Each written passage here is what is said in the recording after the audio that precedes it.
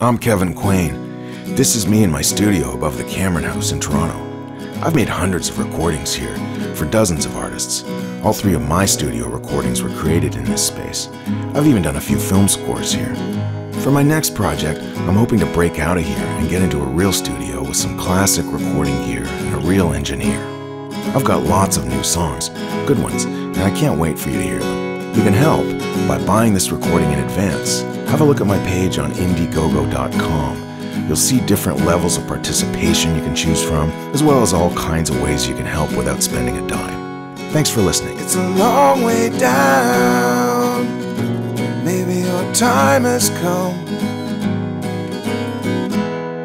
What's your hurry, my love? What's your hurry, my love?